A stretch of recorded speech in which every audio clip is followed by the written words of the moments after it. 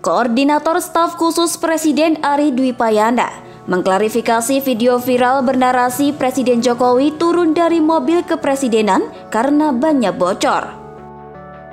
Ari bilang, ban mobil yang membawa Presiden Jokowi itu tidak mengalami kerusakan atau bocor saat melakukan kunjungan ke Jawa Tengah. Menurutnya saat itu anggota Pas Pampres juga bukan sedang memperbaiki ban mobil, melainkan tengah mengemas kaos ke dalam mobil.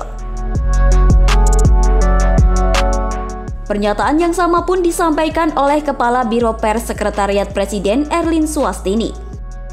Erlin bilang, kejadian yang disebutkan dalam video tersebut bukan karena ban mobil presiden bocor. Keduanya lantas menjelaskan bahwa presiden turun dari mobil untuk mengukur lebar jalan bersama Menteri PUPR Basuki Hadi Mulyono di sepanjang rute Seragen Grobogan Blora. Sebelumnya, sebuah video viral di media sosial yang menarasikan bahwa mobil yang ditumpangi Presiden Jokowi mengalami pecah ban. Video tersebut dibuat di akun media sosial Twitter atau X Rabu 24 Januari 2024.